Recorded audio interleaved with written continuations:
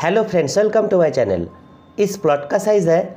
इस डायरेक्शन में 35 feet 5 inch और इस डायरेक्शन में 45 फीट यहाँ से लेकर यहाँ तक होगा।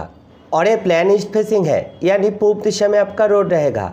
और इस प्लान में आपका इंटर्स यहाँ से होगा। यहाँ से एंटर करते ही आपको मिलेगा पोर्च इस पोर्च का साइज़ है सात फीट ग्यारह इंच बाई दस फीट छः इंच इस पोर्च का फर्श ज़मीन से दो फीट की ऊंचाई पर है। इसलिए यहाँ पर मैंने चार रेजार दिए।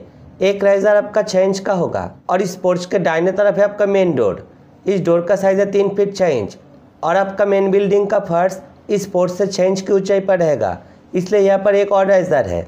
यहाँ से एंटर करते ही सामने आपको मिलेगा ड्राइंग रूम इस ड्राइंग रूम का साइज़ है दस फीट बाई दस फीट ग्यारह इंच इस ड्राइंग रूम में यहाँ पर है आपका सीटिंग एरिया और यहाँ पर टीवी यूनिट और यहाँ पर एक विंडो और दाहिने तरफ़ है आपका फ़र्स्ट बेडरूम का डोर इस डोर का साइज़ है तीन फीट और ये रूम बारह फीट बाई चौदह फीट छः इंच का होगा इस बेडरूम के साथ आपको मिलेगा अटैच टॉयलेट इस डोर का साइज़ है ढाई फीट और ये टॉयलेट दस फीट बाई तीन फीट नौ इंच का होगा और इस बेडरूम में आपको मिलेगा दो विंडो और इस रूम में ये बेड पूर्व दिशा में है और बेडरूम का डोर दक्षिण दिशा में इस रूम से बाहर आते ही डाइने तरफ़ यहाँ पर मिलेगा आपको डाइनिंग एरिया इस डाइनिंग एरिया का साइज़ है दस फीट बाई तेरह फीट चार इंच और दाहिने तरफ़ यहाँ पर है आपका सेकेंड बेडरूम का डोर और यहाँ पर थर्ड बेडरूम का डोर इस सेकेंड बेडरूम का साइज़ है बारह फीट बाय चौदह फीट इस रूम के साथ भी आपको मिलेगा अटैच टॉयलेट इस टॉयलेट का भी साइज़ है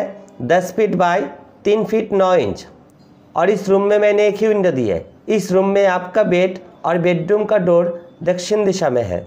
आप देखते हैं आपका थर्ड बेडरूम इस डोर का भी साइज़ है तीन फीट और ये रूम दस फीट बाई चौदह फीट का होगा। इस रूम में मैंने दो विंडो दी है और इस रूम में आपका बेड दक्षिण दिशा में है और बेडरूम का डोर पूर्व दिशा में।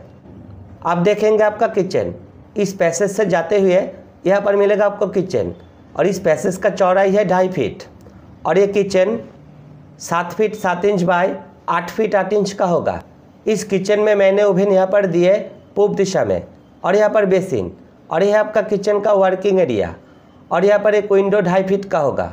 इस विंडो से ही इस डाइनिंग रूम का वेंटिलेशन हो जाएगा। इस किचन से बाहर आते ही डाइने तरफ़ मिलेगा आपको रेफ्रिजरेटर रखने का एक स्पेस इस स्पेस का साइज़ है तीन फीट दस इंच बाई दो फीट और बाई तरफ़ यहाँ पर मिलेगा किचन का वॉश एरिया इस वॉश एरिया का साइज़ है तीन फीट दस इंच बाई तीन फीट दस इंच इस डाइनिंग स्पेस के डाइने तरफ़ है आपका बेसिन और यहाँ पर वॉशिंग मशीन का एरिया इस स्पेस का साइज़ है दो फीट बाई तीन फीट नौ इंच और इस पेज का साइज़ है दो फीट बाई दो फीट ग्यारह इंच। आप देखेंगे आपका कॉमन टॉयलेट यहाँ पर मिलेगा आपको कॉमन टॉयलेट का डोर इस डोर का साइज़ है ढाई फीट और ये टॉयलेट चार फीट बाई दस फीट तीन इंच का होगा। और यहाँ पर मिलेगा आपको स्टेयर केस इस स्टेयर केस का साइज़ है सात फीट पाँच इंच बाई चौदह फीट ग्यारह इंच। चौदह फीट ग्यारह इंच आपका यहाँ से लेकर यहाँ तक होगा। और इस टेयरकेस में आपका अभ्यास होगा। ये आपका फास्टाइज़र और ये फास्टाइज़र यहाँ से चार फीट तीन इंच की दूरी पर स्टार्ट होगा। यानी इस लैंडिंग का चौड़ाई है चार फीट तीन इंच और इस लैंडिंग का चौड़ाई है तीन फीट तीन इंच और आपका स्टेयर का भी चौड़ाई है तीन फीट तीन इंच इस स्टेयरकेस में टोटल ट्वेंटी टू राइज़र है। एक राइज़र आपका छः इंच का होगा। तो आपका घर का हाइट होगा ग्यारह फीट इस घर के फर्श से लेकर रूप के टॉप लेवल तक। आप देखेंगे आपका पूजा रूम इस ड्राइंग रूम के बाई तरफ़, यहाँ पर है आपका पूजा रूम का डोर इस डोर का साइज़ है तीन फीट और ये रूम तीन फीट दस इंच बाय सात फीट का होगा। इस प्लान का पीडीएफ लिंक आपको डिस्क्रिप्शन में मिल जाएगा सभी डायमेंशन के साथ। तो फ्रेंड्स वीडियो अच्छा लगे तो लाइक करें और चैनल पे नए हैं तो सब्सक्राइब ज़रूर करें। मिलते हैं नेक्स्ट वीडियो में।